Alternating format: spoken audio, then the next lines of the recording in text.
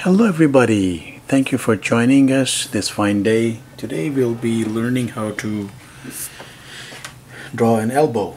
So we're showing this from a particular angle so I'm not showing a bent elbow but I'm showing a straight elbow so an elbow from uh, let's say from the back of the arm because we have to look at it so it makes sense to show it from the back of the arm so I'll need an arc like that or a straight line will do a small circle an arc and perhaps a little oval here for the hand.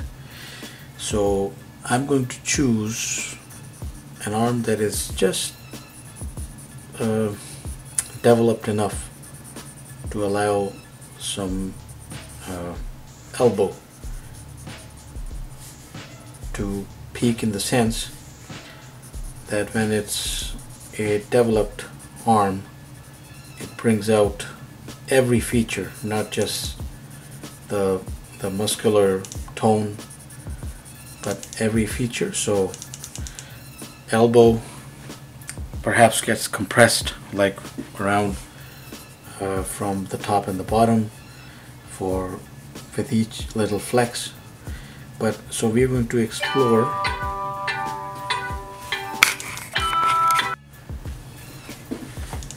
so we are doing a conventional so a generic sketch of an elbow.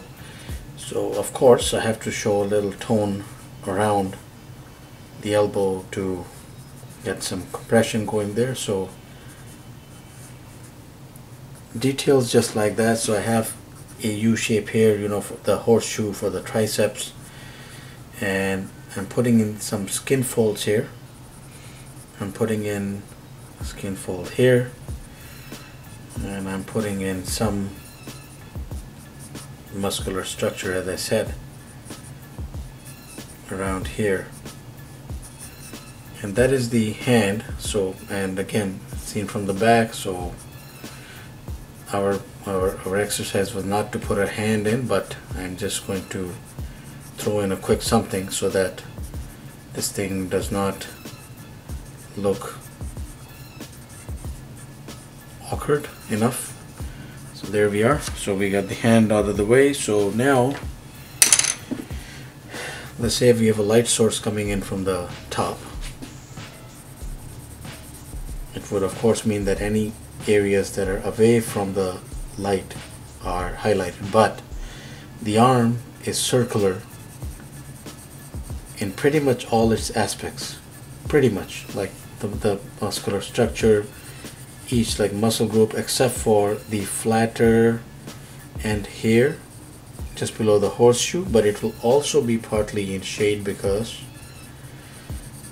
well there is uh, it is away from the light in this case. So right here I'm putting in some tones around the elbow area into the elbow area sorry into the into the skin folds. And now elbows again just like pretty much the rest of the human anatomy are different. They also differ person to person really. The that's because of the composition of the arm. How developed it is how how much stretch there is in it how long it is, how short it is. And according to that, you can define a particular elbow. But that is the, that's one idea of getting around to an elbow. Do check some images out on Google and I'm sure you'll find similar images. Won't be too much different. And then of course you could model some sketches on uh, an actual hand or an arm, sorry, in this case. Thank you for watching. Please do let us have your comments. Do subscribe, keep in touch. Have yourself a wonderful day.